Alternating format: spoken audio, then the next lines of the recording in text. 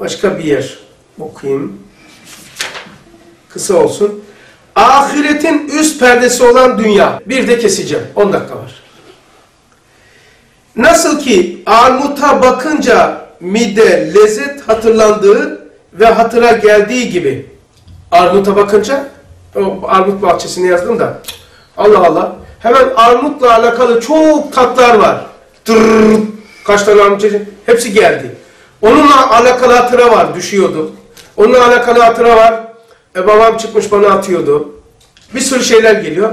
A, nasıl ki armuta bakınca yani o ben harita, dima dersi yapıyorum harit, de, tahtada. O hatırıma gelmiyor. Gelmez. Anlıyor musun? Armuta bakınca onunla alakalı türevleri hatıra geliyor. Örnek için söylüyorum bak. Ne kullanacağım? Nasıl ki armuta bakınca mide, lezzet hatırlandığı ve hatıra geldiği gibi o armuttaki irtifat-ı şahane, merhameti ilahiye, irade, hikmet ve seni tanımanın, bilmenin fiili olduğu halde görünmüyor herkese. Sanki zevk perde olmuş.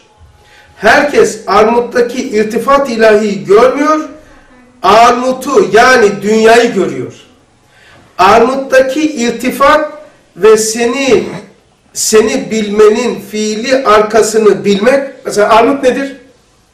Fiili Allah seni biliyor. Nereden biliyoruz? Allah beni biliyor. Beni bildiğini bildiriyor burada. Rengi koyarak armuta gözümü biliyor. Tadı koyarak burnumu biliyor vesaire. Ha, armut nedir? Rahmetiyle bildiğini bildiriyor. O zaman rahmetiyle bildiğini neyle bildiriyor? Armutu vererek. Armutun kendisi değil. Ha, armut kendisi dünyadır. Veren zatı tanımak ahirettir. O zaman armut o irtifat ilahiye, merhamet-i Rabbaniye'nin üzerindeki örtüdür. Perde. Perdedir. O niye yaptı dediğin anda muhatap ilahi oluyorsun. Yoksa hayvan gibi yiyorsun. Armuttaki iltifat seni bilmenin yani seni bilmenin fiili, fiilinin arkasına bilmek, hissetmek ve mahsetmek ise ahirettir. O zaman mevcudat fiili bir iltifat ilahi, isanat-ı rahmaniye ona soru sorduğun anda bu, bu ağaç beni bilmezdi, tanımaz. Bana niye cevaptır? Ha, o iltifat ilahi, isanat-ı mahsusa, hususiyeyi ahiretin üstündeki perde olduğunu gösteriyor. Ama o anlayış perde, kendisi perde değil. Biri direkt Cenab-ı Hakk'ı bildiriyor. Ahirete nasıl intikal ettireceğiz? onu? Ahirette şey, o Allah işte.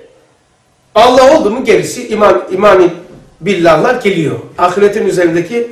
Peki burada ahiret nasıl olacak? Bunu bildin Allah geldi mi? Şimdi ahireti anlatayım. Duygular bizde. Kökeni. Mesela Mustafa diyor dün. Abi diyor işte malum bir zata dükkana geldi. Her gün darlattı, darlattı, darlattı dedim. Bir gün bir patladım dedi. Ne dediğimi hatırlayamıyorum. Hatta dinde bir hüküm var. Cununluk, delilik seviyesinde asabilikle karıyı boşasa talak olmuyor. Ölçü şudur ama. Uyanınca ya sen karıyı boşadın ya. Bayram. Yok. Ya manyak mısın lan? Karıyı boşanır mı?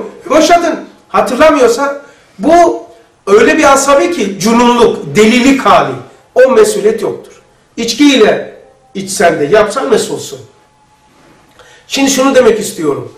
Nasıl ki o gadap, hiddet insanda, köken insanda ama çıktığı zaman vücudun ne yaptığı belli değil.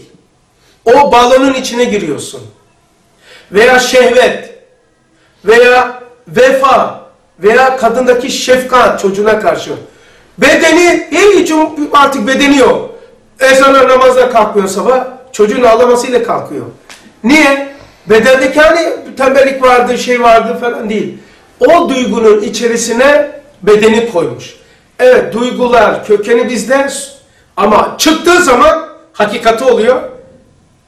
Biz onun içine giriyoruz. Nasıl ki duygular bizdeyken uyanınca biz onun içine giriyoruz. Ee, ahiret inancı yani bir kuvve, arzu beka, ebed yaşaması, ebed yaşamak, sonsuz yaşamak, hiç ölmemek gibi e, latifeler, hisler, meyiller, arzular var ya, bu kökeni bizde. O ne kadar ahiret arzusu uyanırsa bu imani bu armutla Allah'ı şey yaptık mesela. Allah'ı nasıl bulduk? O armut ağaç beni bilmez. Rengi, gözü, dilime göre cevap bunlar. Ha, demek ki birisi beni biliyor. Nereden bildim? Bilmenin alameti bunu verdi. Ha, onu bildikten sonra bizde bir his uyanıyor. Yani ona karşı bir e, yöneliş, tanıma, muhatap olma. E Çünkü bir de devamını istiyoruz o meyvenin. Arzu-i beka var. Yani bu meyve bu sefer ahiret iştiyakı oluyor. Ahiret arzusu oluyor. O ahirete ait duygular çıktığı anda biz onun içine giriyoruz. Aha sana da bir ahiret. Nasıl ki e, içimizdeyken ahiret e, meyli, ebed yaşaması içimizde uyanınca böyle bir cenazelerde, bir faniliklerde, birisi kanser olduğu zaman ebed arzusu değil mi? Korkuyoruz ahiret falan. O ne yapıyor? Biz onun içine giriyoruz. O balon ahirettir. O zaman beden nedir? Onun üstünde per, tenteneli bir perdedir. Tenteneli perde. O çıkan alet var ya Allah- Allah'a karşı bir e, bir halet çıkıyor da ardından sonra Allah Allah Allah bizi şey yapıyor diye. O çıkan haleti ruhiye bizde değil artık. Bizim dışımızda sarmalamış, böyle balon gibi olmuş. Hani var ya sabunu böyle yaparsın da yuvarlak yuvarlak baloncuk olur. Onun gibi bizi sarmalamış. O balon ahirettir. İçerisindeki o asıl zerre, çekirdek o biziz. Bizim aslında duygular içimizde zannediyoruz. Evet, buradadır kökeni, çekirdek ama çıktığı zaman bizim içimizde değil. Onun içinde biz varız. Onun, için, onun adı fihi mafi. İçim dışımda, dışım içimde. Bu balon ahirettir. Peki gözüküyor mu?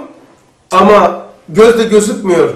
Televizyon, radyo dalgaları gibi. Bu balon da gözükmüyor ama bu balon ahirettir. Onun çekildiği olan dünya, beden dünyadır. Ezan okundu değil mi? Tamam. Burada zaten 1'e 4, 3 var. Kesiyorum. Ve ahir davahum enilhamdülillah rabbil alemin. El Fatiha.